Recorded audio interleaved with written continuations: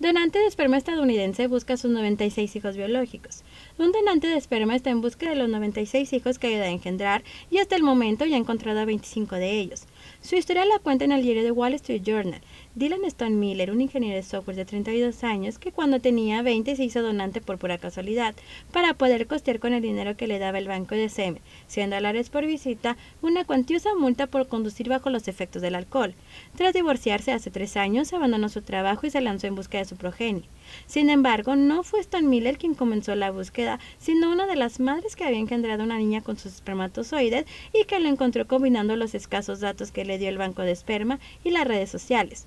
Stone Miller, tras dar al banco permiso expreso de comunicar sus datos, abrió una cuenta en Facebook a la que invita a sumarse a todas las familias de sus hijos biológicos. El donante ha iniciado incluso un programa de visitas con algunos de los niños, desempeñando un difícil papel porque las madres le prohíben identificarse como el papá. El rotativo destaca que el anonimato con que antes se trataban los embarazos a través de los bancos de esperma están desapareciendo, gracias a los precios mucho más baratos de los test de ADN, la facilidad que Internet da para rastrear la vida de las personas y la desaparición de los tabúes. De hecho, el diario recuerda que más de un millón de estadounidenses han sido concebidos en procesos de fecundación in vitro, y de ellos una parte considerable fueron con espermatozoides obtenidos en un banco. Para Posta, Lorena Ramírez.